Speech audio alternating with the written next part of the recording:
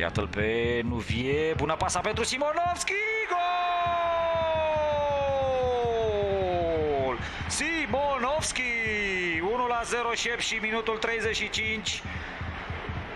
Marco Simonovski, omul momentului uh, pentru formația din uh, Sfântul Gheorghe, autor al unei duble etapa trecută la Călăraș Simonovski, înscrie din nou și ajunge la 5 goluri marcate în acest uh, campionat.